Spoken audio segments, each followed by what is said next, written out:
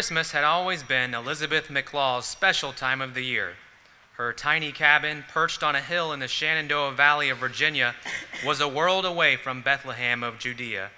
And this year, 1848, was far removed from that first Christmas hundreds of years ago.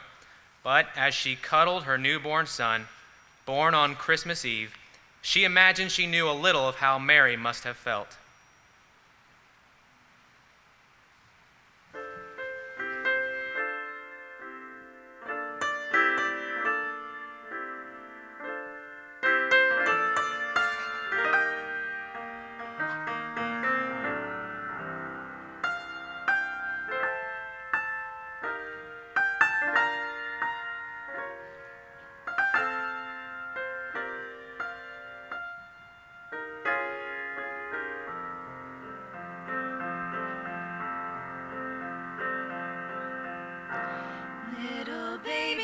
go to sleep. Close your eyes and don't you cry. Gently rest your tiny head.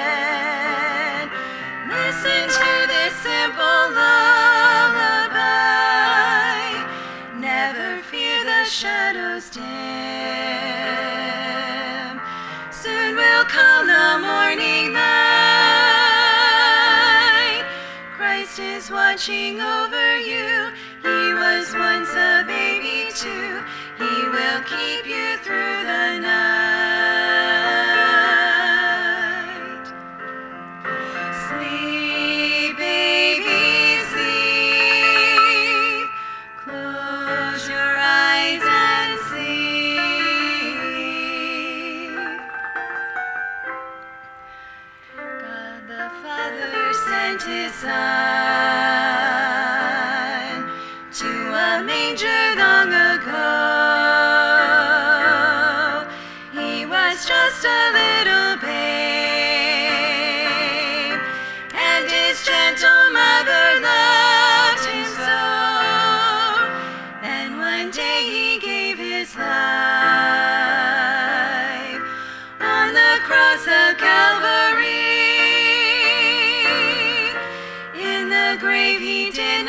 Not. He arose on Easter Day. Now he lives for you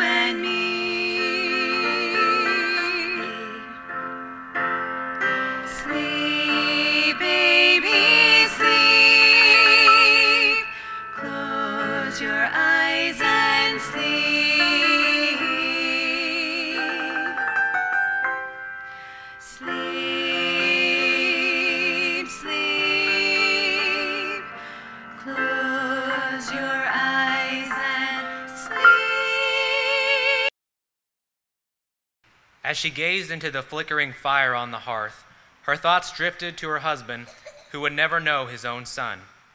He had been a fine, hard-working man. He had hopes of becoming a doctor until the money ran out. Disappointed, he worked as a farmer until his patience ran out. Drinking brought a change in him. Elizabeth had often been the object of his anger as he returned home drunk. He must not have been able to stand the thought of another spring planting. She wasn't sure if it was the farm or her that reminded him of his failures. Whatever the cause, he was gone. He joined the army and went out west to fight the Indians. In the letter she had received, they said he had died as a brave soldier should. They said she should receive a little money from time to time, but that was months ago. Elizabeth thought she'd never know happiness again, till now. Again, she studied the little infant in her arms. Emmanuel Christmas McClaw. That's your name. Who'd ever thought a little fellow like you would have such a big name? Now, I know you're not the same as Jesus, but my God will be with you too. Maybe he sent some angels to sing for you. Let's listen. Can you hear them? Do you know what they're saying? Glory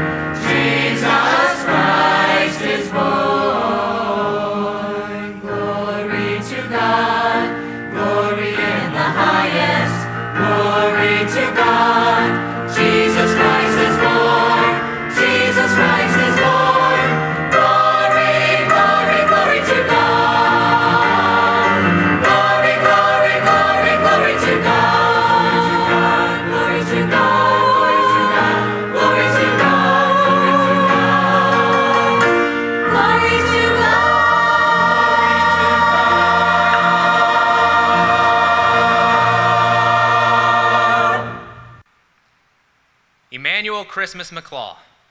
He became known simply as Manny. He went from being a little baby to a little boy, to a little man in just a few years. He had to. He was the man of the house, and he was serious about his position. Wherever Manny was, there was music. He was always singing, humming, or whistling. Old Mr. Thomas up the road gave him a mouth organ. His little odd, off key concerts got better with hours of practice. The quiet, cold winter evenings heard many rich and sad melodies from the harmonica of Emmanuel Christmas. 1861 brought the dark clouds of war to Virginia.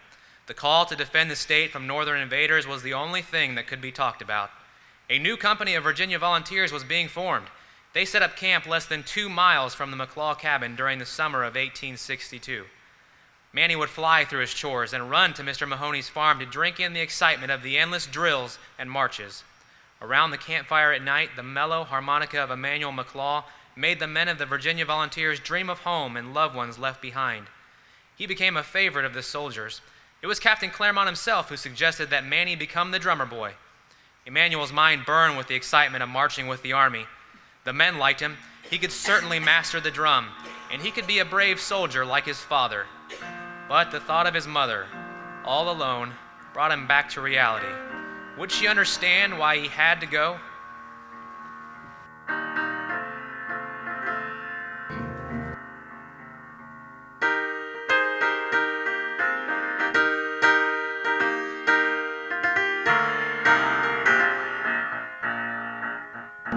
He is King, He is King, Jesus Christ is King of kings, and His power shall reign forever and ever.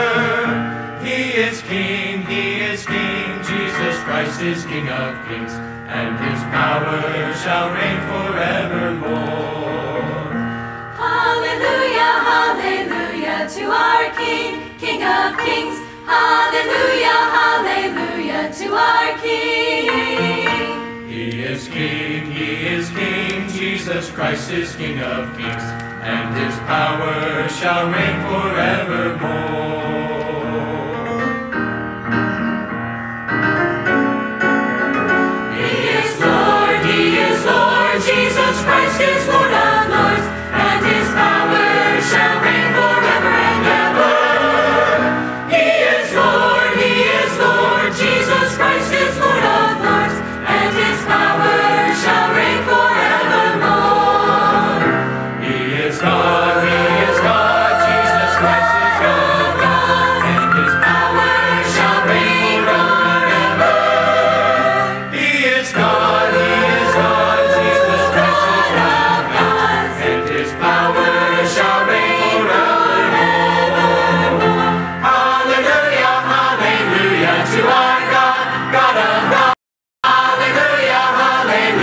To our God. He is God, He is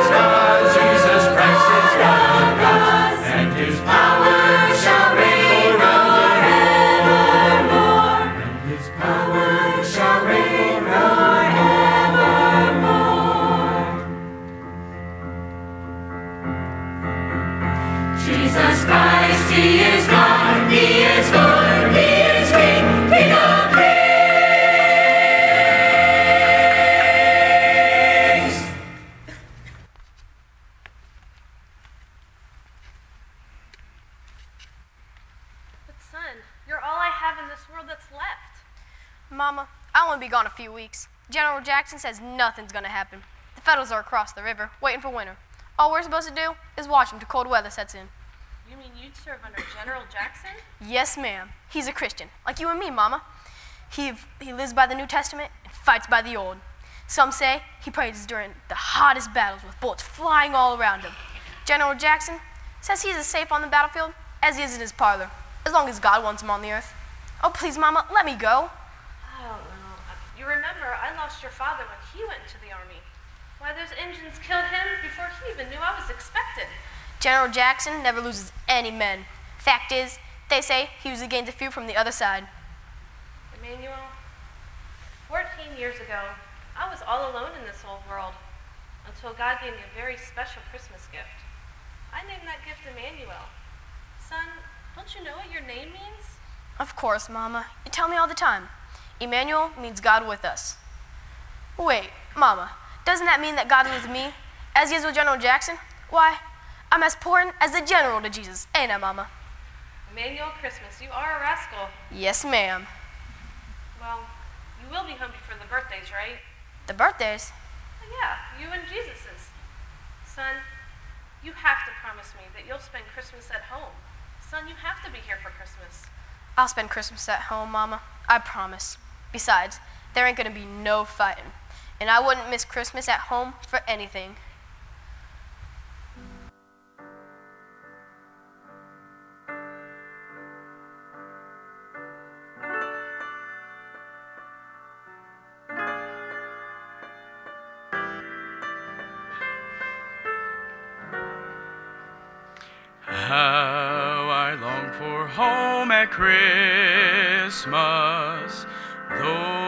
So far away.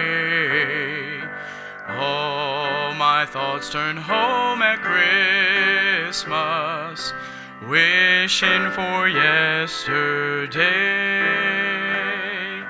Christmas at home, Christmas at home. Lord, how I want to go home. My heart's yearning so, for I've longed to go home at Christmas time. Christmas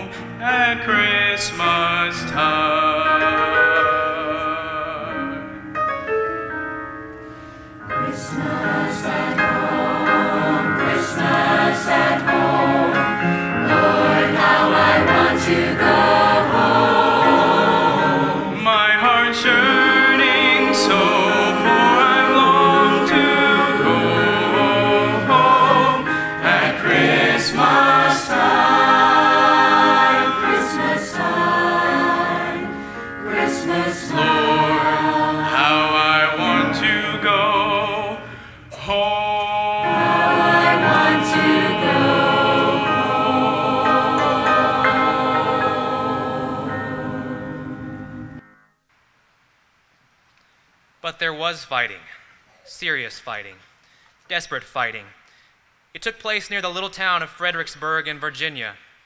December came. Winter should have halted the armies, yet General Burnside sent his army of 150,000 over the Rappahannock River to face the well entrenched Confederates. Ordered to support General Longstreet's corps, the small company of Virginia volunteers awaited the outcome of the fierce battle. Before the battle was ended, over 18,000 Americans, both blue and gray, became casualties on December 13, 1862. Ah! Ten-year-old drummer boy from Berryville, Virginia. Emmanuel Christmas McClaw was running ammunition to the embattled defenders of the famous stone wall when he was shot through the leg. The grizzled soldiers had earlier been inspired by the young boy's bravery. They were soon shocked to see the mangled drummer boy grimacing in pain with death all around him. Darkness finally put an end to the fighting, but not the suffering. Manny was barely aware of the doctor, smelling of sweat, powder, and liquor, bending over him. Boy! Boy, can you hear me? I can't. I can't be the charge, sir. My drum, it's broken. I can't be the charge. It's okay, boy. Save your strength. I've got to move you away from here. You're, you're a doctor? Yeah, I'm a doctor. Now hush. Then it's over. Yeah, it's over. It's over for a lot of men. My leg, doctor. It hurts so bad. Can you make it better, doctor? Come my- here, just put your arms around my neck. We got to move you out of here. No, sir, you'll get all bloody. Boy, do as I say.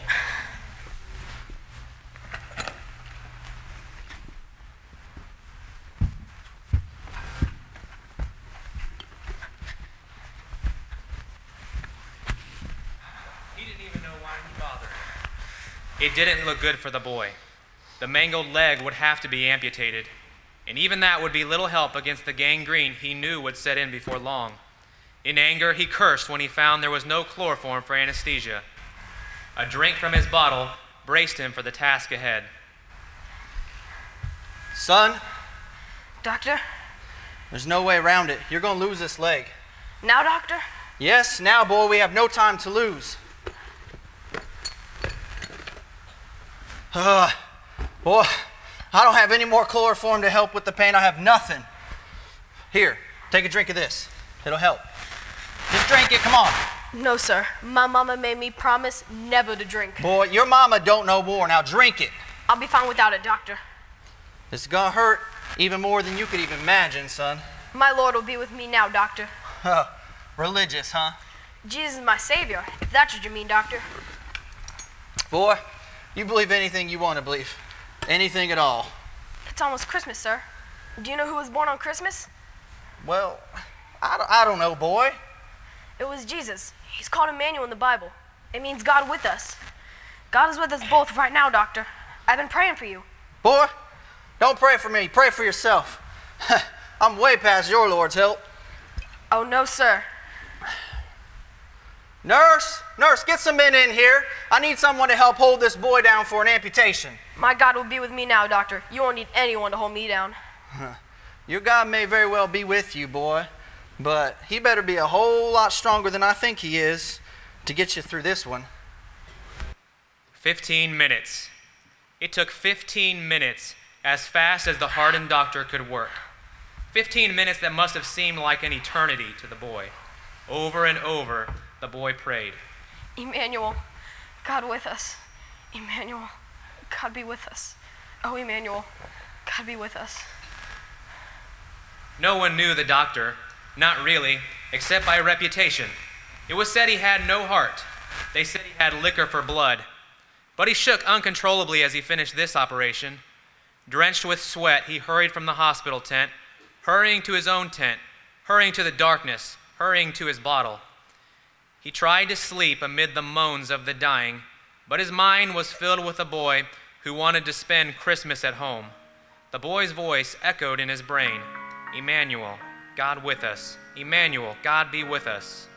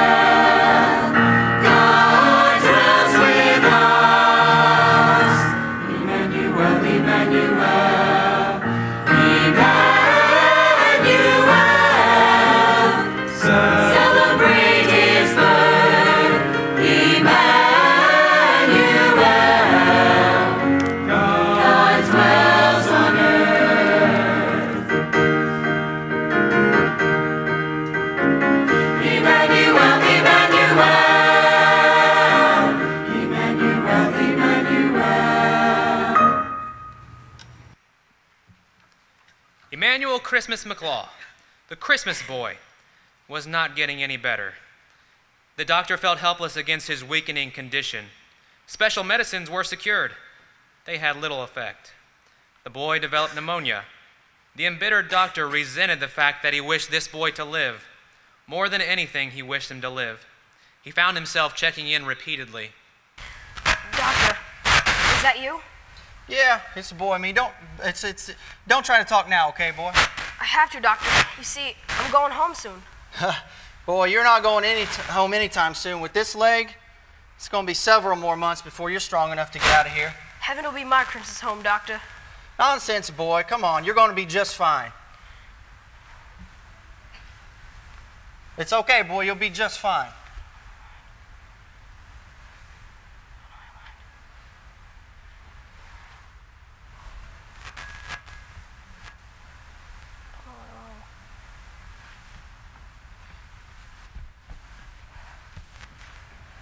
Boy, I don't know here. We've got a lot. We got a lot to do. You're going to be just fine. There's no, there's no sense of talking about going home for Christmas or anything like that to heaven. You're going to be just fine, boy. I have to, Doctor. The Lord told me that I would that I would see him in heaven. You don't know him, do you, Doctor? Who? Your Lord? Yes, sir. When you were operating on me, I asked Jesus to save your soul. Boy, I told you, it's too late for that. Oh, no, sir. Boy, you don't know half the things I've done in my life. I may not, but God does. That's why he sent his son to die for those sins. The Lord has told me that I would see you in heaven. Boy, stop the foolish talking, okay? Why are you crying? My mama, she'll miss me, doctor. Will you give me will you give her my Bible? It's here, under under the bed. Boy, just lay back and take take it easy. I'm okay. Only I, I can't breathe so good. Doctor, what's that bright light? What light, boy?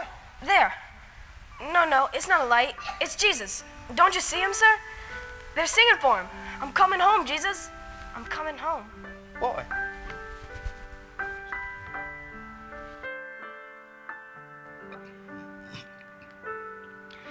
Pass me not, O gentle Savior.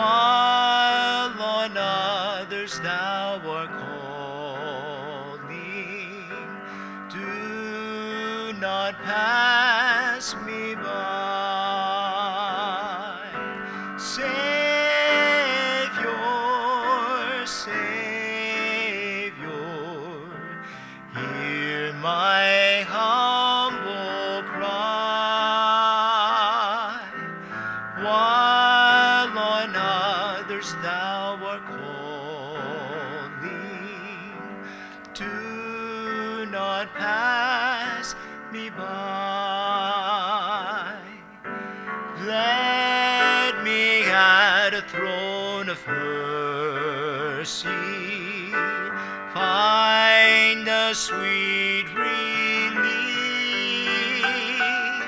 kneeling there in deep contrition.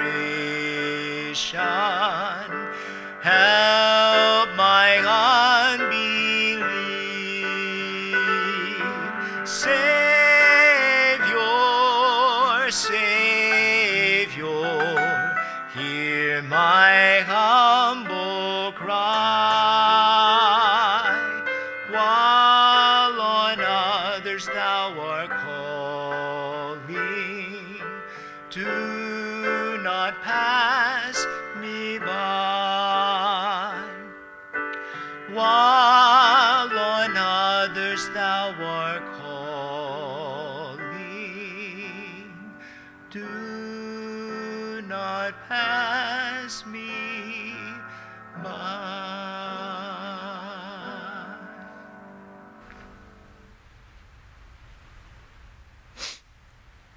Oh, God.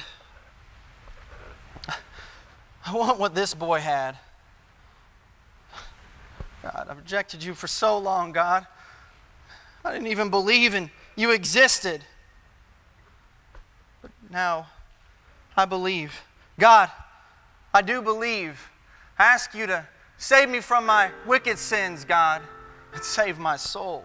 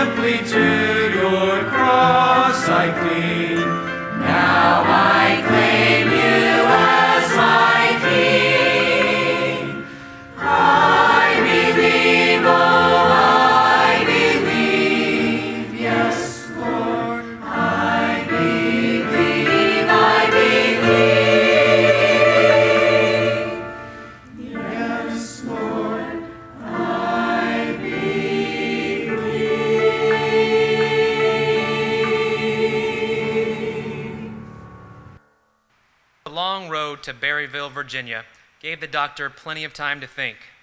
He fingered the small Bible in his pocket to see if it was still there to convince himself that the events of the past few days were real.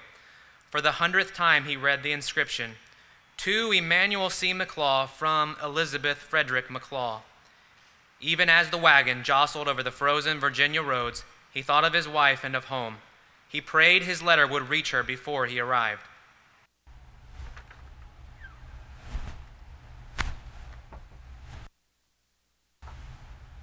My dearest Elizabeth, I hardly know where to begin. I guess I should start by confessing that the letter you received 14 years ago was forged. No, I wasn't killed in battle. I just wanted you to be free from the likes of me. I've always loved you.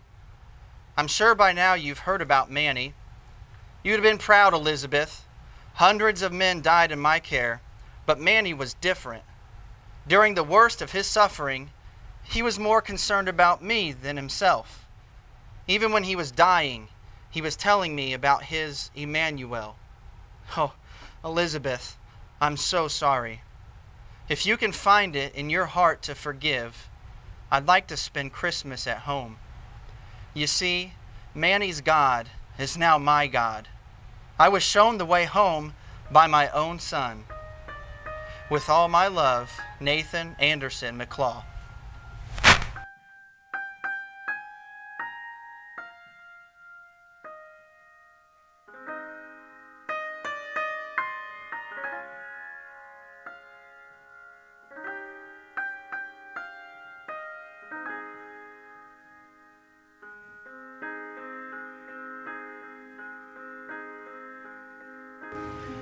Christmas at home, Christmas at home.